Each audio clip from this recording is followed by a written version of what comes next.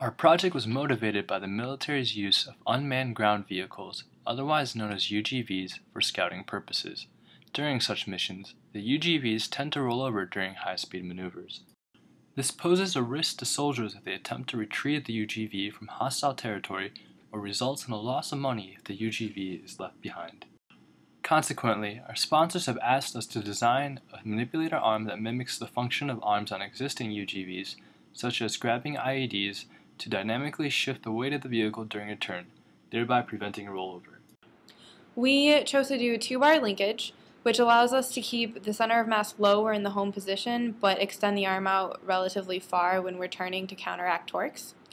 We have attached the two bar linkage to the base by using a turntable and L brackets. So the turntable is acting as a bearing to give the bottom servo extra support and then all of that is attached to the upper base plate. And then this plate attaches to the lower base plate, which is the only part of our design that actually attaches to the car. So the only alterations that we did to the car is drill four holes into the chassis. And then at the back, we have the batteries housed um, at the top of the suspension. The electrical system consists of our sensors, our controller, our actuators, and our power supplies. Our controller is a Raspberry Pi. It is a small computer that runs a stripped-down version of Linux. Using this as opposed to a more traditional microcontroller allows us um, greater flexibility when we're designing our control system. For our sensor, we're using a 6 degree of freedom inertial measurement unit. Um, this allows us to measure all of our accelerations and our roll rates. Our actuators are Dynamixel servos. We use two MX28 servos and a single MX64 servo. Uh, the only difference being the amount of torque that they provide.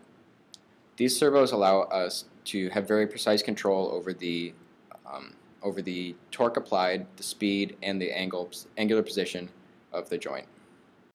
Due to the complexity of our project, we have several different programs running in four different languages.